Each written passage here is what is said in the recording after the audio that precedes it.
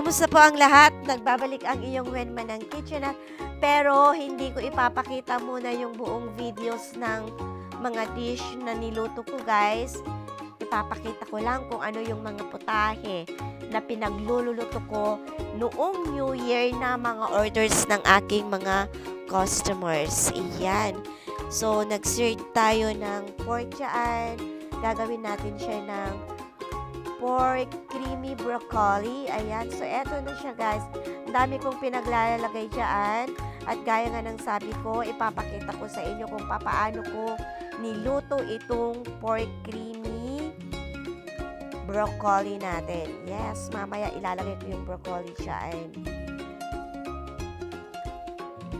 And pangalawang dish natin guys, eto napaka benta. Ayan, bestseller ko po itong Igadong Ilocos guys.